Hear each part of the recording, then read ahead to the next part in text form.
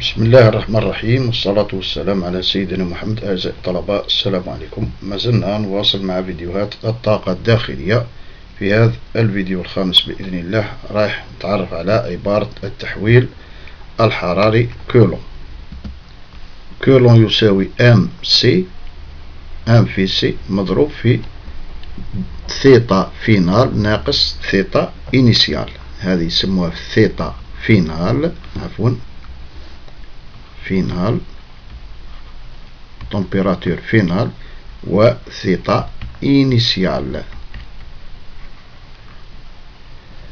أي يعني هنايا إذا ارتفعت أو انخفضت درجة حرارة جملة تتكون مثلا من مادة X ها أي مادة X يعني هنا تكون الجملة حتما قد اكتسبت أو افتقدت طاقة بتحويل حراري.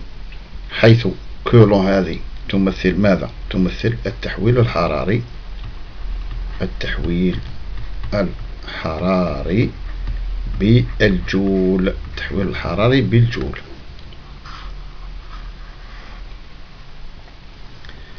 و آم. آم هي كتلة المادة المستقبلة. كتلة المادة المستقبلة أو الفاقدة. أو الفاقدة. فاقدة لماذا؟ للتحويل الحراري.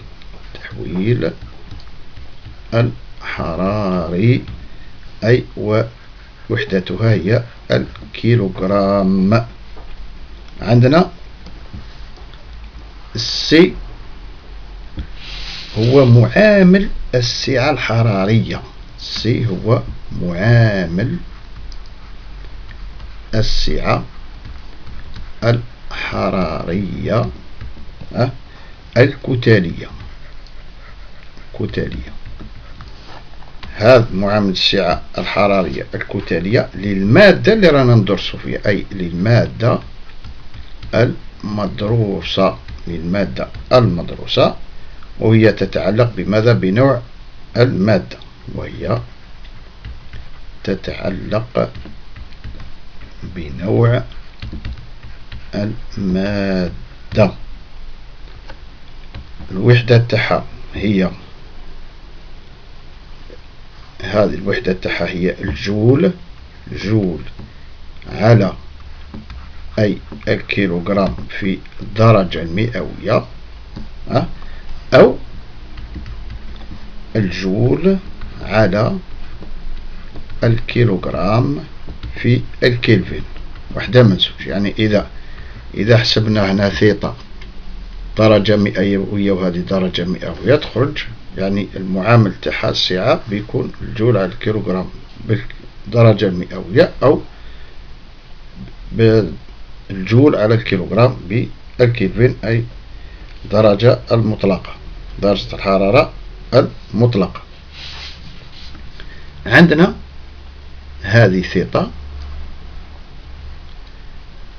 هذه درجة الحرارة النهائية درجة الحرارة النهائية. النهائية لاحظ تنحسب بدرجة المئوية أو بالكلفين. عندنا كذلك هذه أي درجة الحرارة الابتدائية قلنا thêta finale وهذه thêta initiale درجة الحرارة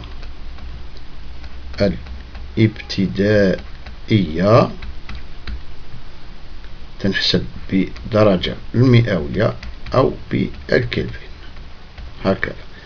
لاحظ في كل الفيديوهات اللي جازوا اللي درسناهم من قبل. راني كل ما نحط علاقة نحط الوحدات تاع كل وحدة منهم. يعني العلاقة نحط الوحدات. يعني لا داعي باش تسألوني تقول لي يا أستاذ الكتلة بالجرام ولا بالكيلوغرام؟ هذه بكذا ولا بكذا؟ هذه بالجول ولا بكذا؟ يعني كل علاقة راني ندير. وفي حلول التمارين نقول إذا كنا نبدلوا. هذه ولا من بدل يعني راني نذكر كل شيء. إذا رانا شفنا كامل واش كاين في العلاقة وخاصة اللي شفنا جديد هو معامل السعة الحرارية الكتالية أه؟ يعني هذا المعامل هو ثابت يميز يعني المادة المدروسة. الآن عندنا السعة الحرارية للجملة. تساوي الكتلة في معامل السعة الحرارية الكتلية. يلزم تفرق بين C ها C الحرف الكبير C majuscule اللي هي السعة الحرارية و C minuscule أي الحرف الصغير اللي هي معامل السعة الحرارية الكتلية. هذه من الآن فصاعدا يلزم لك تعرف تفرق بيناتهم. إذا هذه واش نقولوا؟ هذه السعة الحرارية. السعة الحرارية لمن؟ للجملة أه للجملة أي الجملة المدروسة عندما تكون من مادة مثلا إكس مثلا هكذا. يعني هذه الوحدة تاعها هي الجول على الدرجة المئوية أو الجول على الكلفن أو الجول على الكلفن لماذا؟ وين راح الكيلوغرام تاع هذه؟ لماذا؟ لاحظ. هذه رانا نحسب M في C أي الكتلة في معامل السعة الحرارية الكتلية. ها؟ لاحظ معايا. يعني C تساوي m اللي هي الكيلوغرام مضروبة في هذه. مثلا لو قلنا مثلا الجول على الكيلوغرام في درجة مئوية. لو اختزلنا هذه مع هذه لاحظ أن هذه السعة الحرارية تصبح الجول على الدرجة المئوية. لو درنا هنا الكلفن كذلك تصبح الجول على الكلفن لذا لاحظ الوحدة تاعها تخرجها من هذه. عادي. انتبه.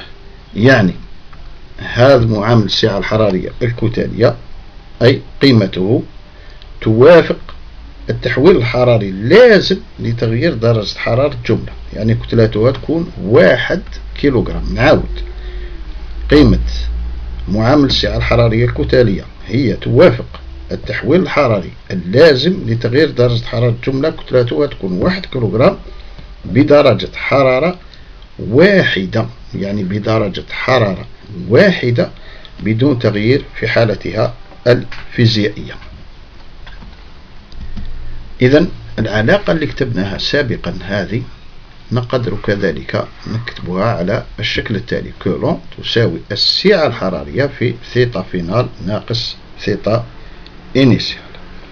عندي ملاحظة. نحن التحويل الحراري يغير من الطاقة المجهرية للجملة. قلت التحويل الحراري يغير من الطاقة المجهرية للجملة. كي نقول كلمة طاقة داخلية يعني هناك طاقة مجهرية للجملة. ها؟ وبالتالي تكون عندنا كولون تساوي دالتا.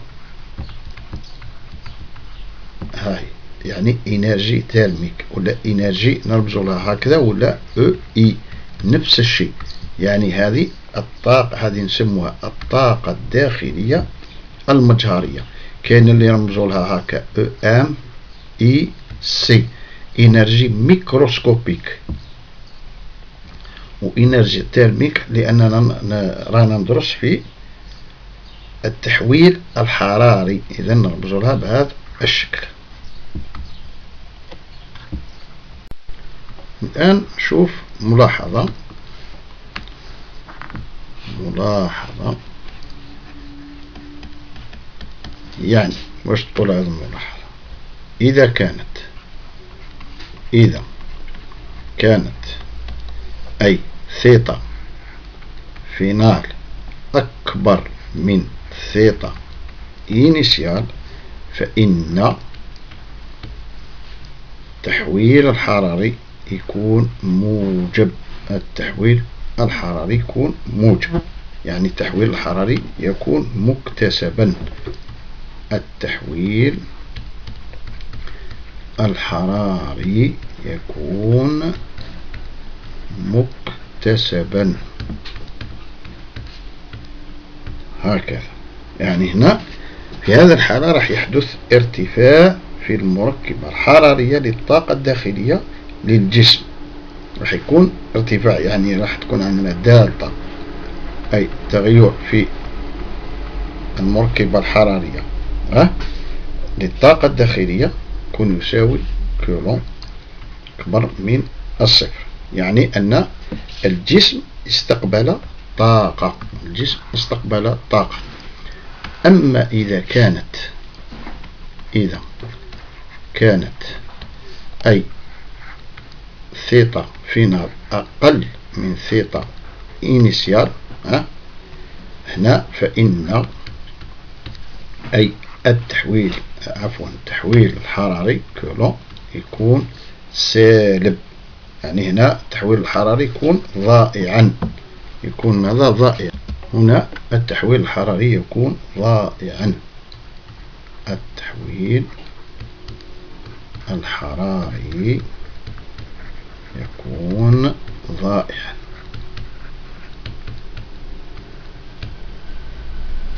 يعني هنا راح يحدث انخفاض في المركبة الحرارية. في الأولى يحدث ارتفاع في المركبة الحراري أما في الحالة الثانية يحدث انخفاض في المركبة الحرارية للطاقة الداخلية للجسم يعني دالتا. التغير في الطاقة الداخلية للجسم يساوي كولون تكون سالبة أي يعني هنا أن الجسم فقد طاقة. الجسم ماذا؟ فقد طاقة. لاحظ. في حالة التحويل الحراري الموجب. انتبه معي. عفوا. شوف في حالة التحويل الحراري الموجب.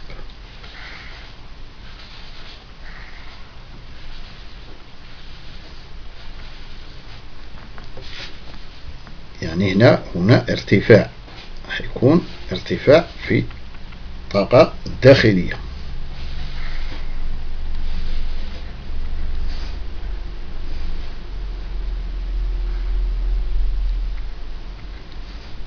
انتبه.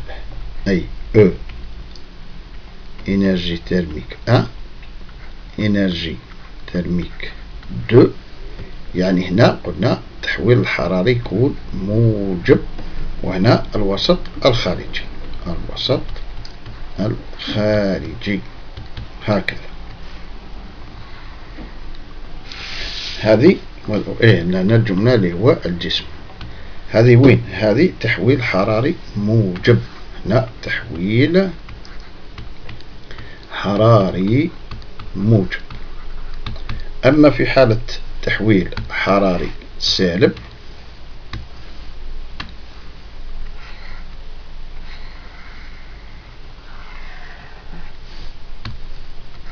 تحويل حراري سالب لاحظ معايا. هنا راح يكون عندنا انخفاض. هنا راح يكون انخفاض. هكذا. أو تي أش واحد و أو تي أش اثنان. هكذا. يعني هنا راح يكون عندنا أي التحويل الحراري يكون سالب. التحويل الحراري يكون سالب أي الوسط الخارجي. هكذا يعني تحويل حراري سالب. تحويل حراري سالب. يعني هذا الحاصلة الطاقوية هذه تبين لك كامل واش درنا. هاي يعني واش قلنا؟ حالتين. عندنا حالة كذلك إذا كانت الجملة تتكون من عدة مواد أه؟ إذا كانت الجملة تتكون من عدة مواد أه؟ تكون كتلتها أي m واحد m اثنان وهكذا حتى ال m n وسعتها الحرارية. وسعتها الحرارية تكون على شكل أي C واحد C اثنان وهكذا حتى C n. يعني هذا السعة الحرارية تكون أي لها سعة حرارية سي إي تساوي ام إي سي إي إذا انتبه معي. يعني هنا. هذه واش قلنا نسموها السي السي هذه؟ قلنا نسموها معامل السعة الحرارية الكتلية هذه معامل السعة الحرارية الكتلية وهذه السعة الحرارية باش ما تغلطوش بيناتهم. هذه majuscule وهذه minuscule يعني ال C كنت تساوي m واحد c واحد زائد m اثنان c اثنان زائد وهكذا أه حتى زائد m n c n. يعني تساوي أي مجموع المجموع من واحد إلى n. هكا نقرأ من واحد إلى n.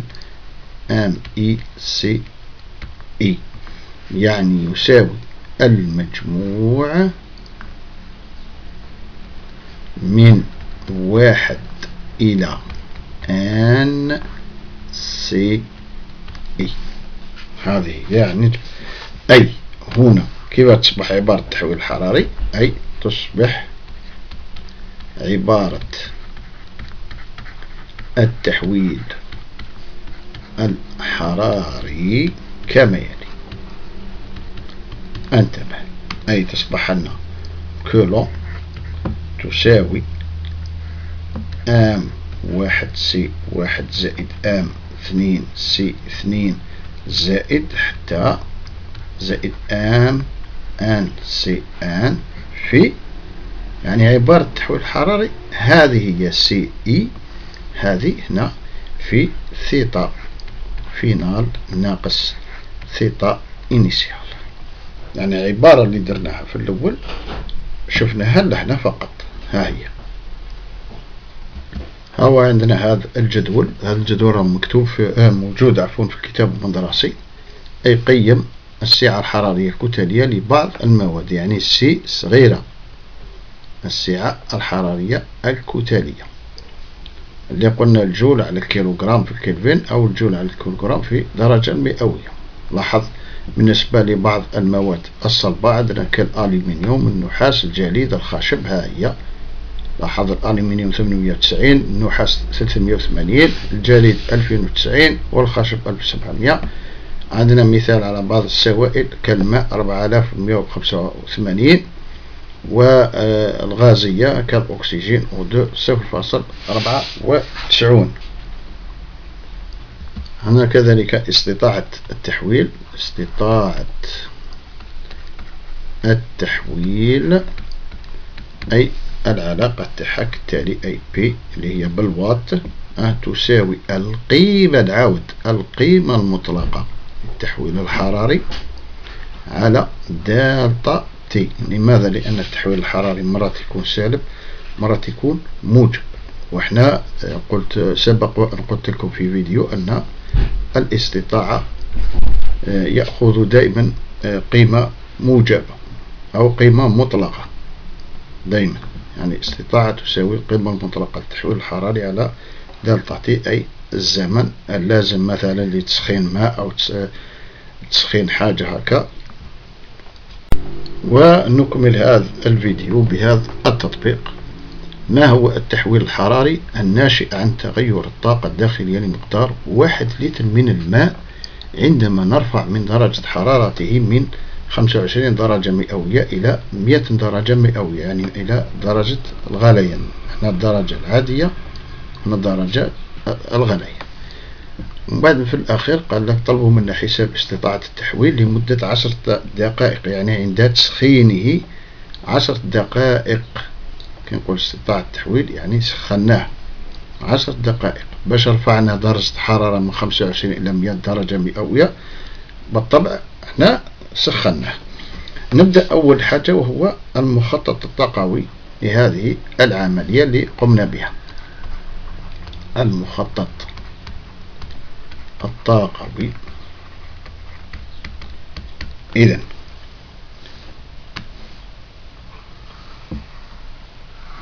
هي الفقاعة العمود.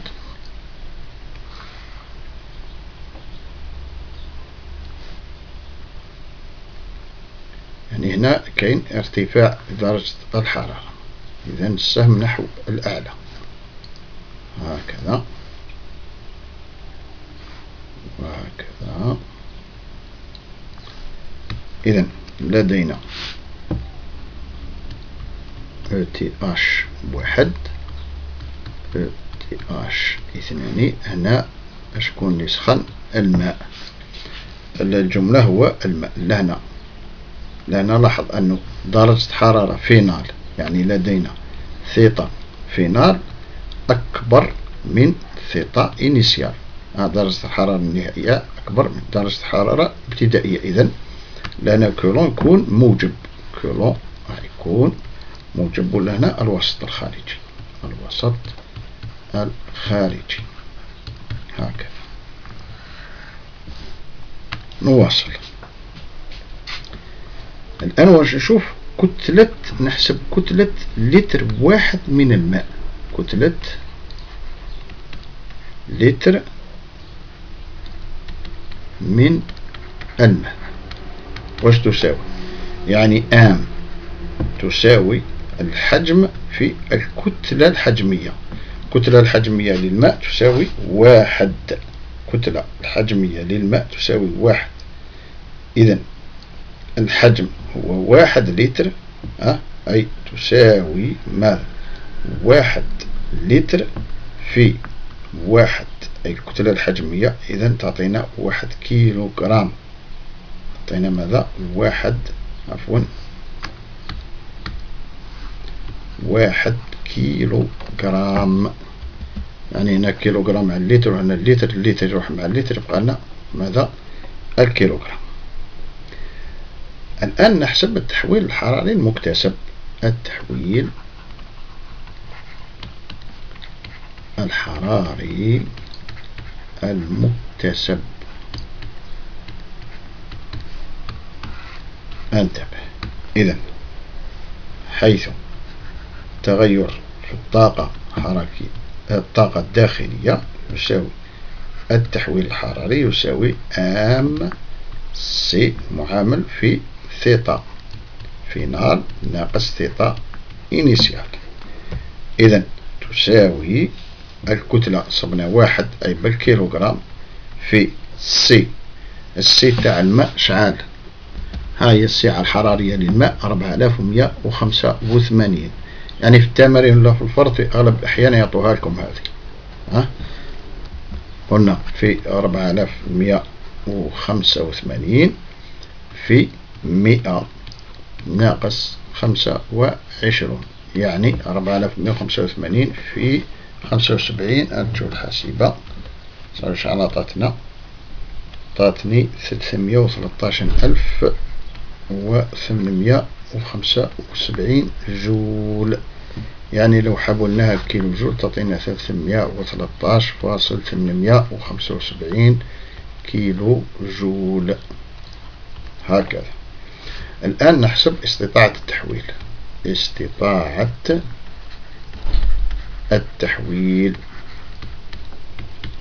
أي P استطاعة تساوي القيمة المطلقة للتحويل على دلتا على الزمن أي تساوي القيمة المطلقة التحويل الحراري يكون بالجول وليس بالكيلو جول احذر بالجول أي 313875 على شحال قالوا عشر دقائق يعني عشرة في ستين نحولها بالثانية يعني هذا احذر هذا. واش قلنا؟ عفوا هذا. يكون بالجول وهذا بالثانية. انتبه. إذا شحال تعطينا أي 313 من 1875 على 600 يعني 10 في 60 شحال عطاتني شحال نحسبها عطاتني خمسمية. هذيك فاصلة أي خمسمية وثلاثة وعشرين فاصل مية وخمسة وعشرين وات. هاي. لاحظ طبقنا واش درنا في الدرس؟ ما درناش حاجة زيادة. برك الإنسان في العلاقات يراعي قال هذه بالكيلوغرام بالكيلوغرام هذه بالجول بالجول هذه بالوات بالوات.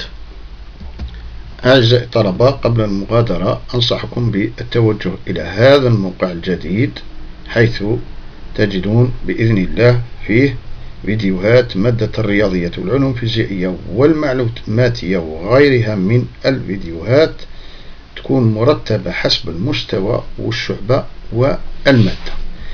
أعزائي إلى أن ألقاكم في فيديو آخر أترككم في رعاية الله وحفظه. والسلام عليكم ورحمة الله تعالى وبركاته.